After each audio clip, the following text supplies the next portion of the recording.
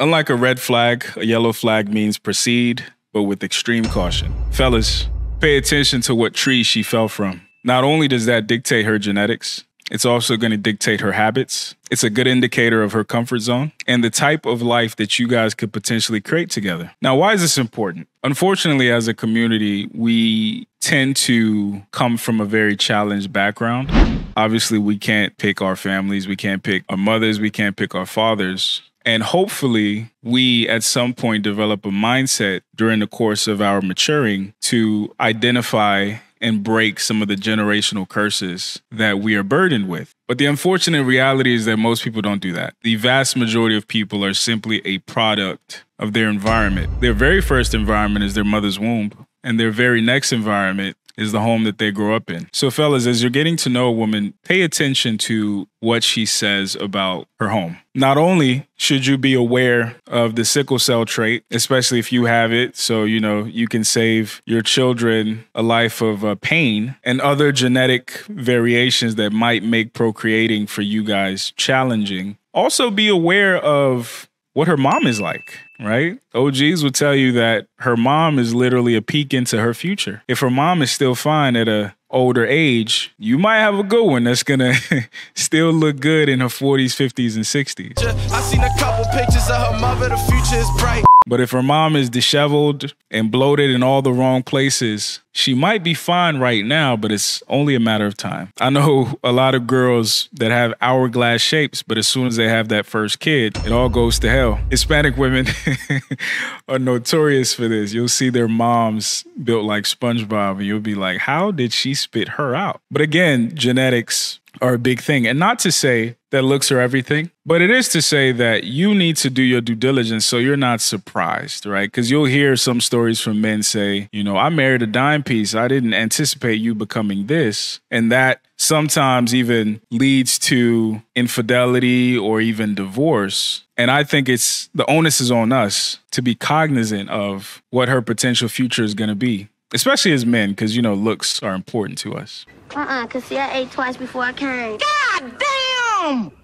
But more than that, pay attention to how her mom behaves. Is her mom a feminine, respectful, intelligent, wise woman? If so, it's likely that the apple didn't fall too far from the tree. Similarly, if her mom is a cantankerous, vile, old lady, it's also likely that the apple didn't fall too far from the tree. And again, the reason this is a yellow flag and not a red flag is because it's not necessarily a foregone conclusion right? There's the analogy of the two brothers who were raised by an alcoholic father. One became an alcoholic, one hates the smell of alcohol. So there's variation, right? Um, but it's something to be aware of. And, you know, as an African man myself, the paradigm that we think of when we think of like marriage is I'm not marrying you. I'm marrying your family. I'm marrying your habits. I'm marrying your siblings. I'm marrying your friends. I'm marrying your credit history, your financial portfolio. I'm marrying everything about you for better or worse, which means as men, you need to be aware of and you need to start noticing, even in the early stages of your courting, all aspects and details of who this woman is, what this woman comes from, and what she could potentially mean for your life.